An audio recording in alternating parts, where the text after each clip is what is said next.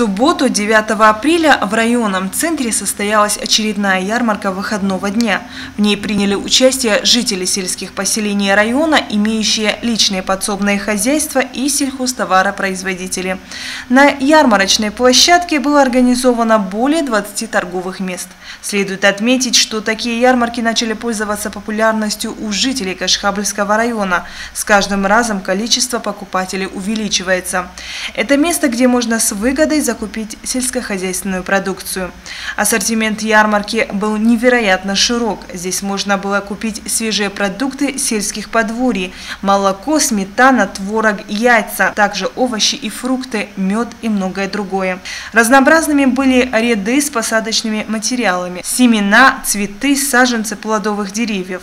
Больше всего покупателей было возле прилавков с мясными продуктами, овощами и саженцами плодовых деревьев. Следующая ярмарка состоится в субботу 16 апреля.